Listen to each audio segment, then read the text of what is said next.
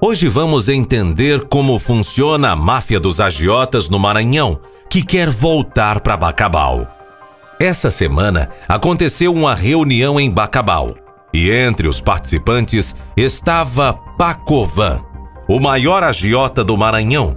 Junto com ele estava outros nomes conhecidos no submundo da agiotagem.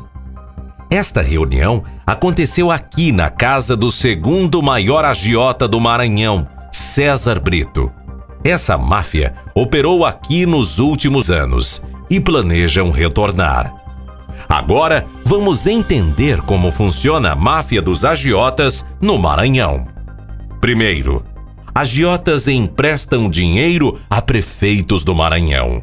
Segundo, o prefeito paga juros desviando dinheiro da prefeitura, colocando empresas dos agiotas na prefeitura. Essas empresas entram na prefeitura com fraude em licitações superfaturadas. Por último, as empresas dos agiotas levam todo o dinheiro da prefeitura. Então, os salários atrasam, falta merenda nas escolas, falta medicamento nos hospitais, falta água nas casas, a cidade fica suja e cheia de buracos e termina com a cassação do prefeito. E tudo isso aconteceu aqui em Bacabal, exatamente assim. Todos os problemas foram causados pela máfia dos agiotas, que levou todo o dinheiro da prefeitura. Essa máfia deixou uma herança maldita para Bacabal. Roubaram tanto que foram caçados. O caso é tão grave que até o ministro Gilmar Mendes se posicionou publicamente sobre o perigo da máfia dos agiotas.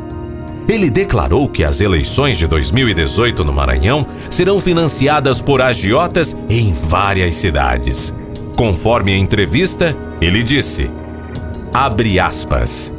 Eu temo muito pelo financiamento das eleições por organizações, as mais diversas, inclusive as criminosas.